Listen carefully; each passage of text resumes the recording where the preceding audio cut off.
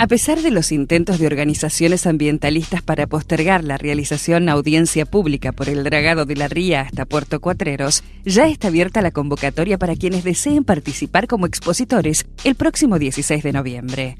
Vale recordar que, entre otras acciones, un grupo presentó una medida cautelar en la justicia para la suspensión de la reunión.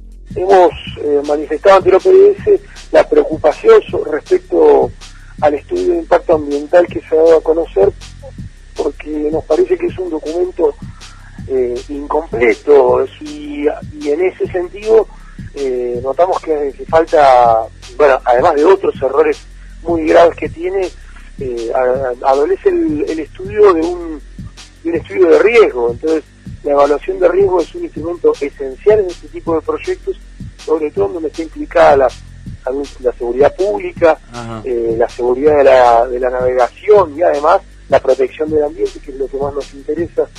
Sin embargo, el municipio puso a disposición los antecedentes del proyecto del dragado que se pueden encontrar en la Secretaría de Gobierno. La audiencia se realizará en el Centro de Jubilados de General Serri.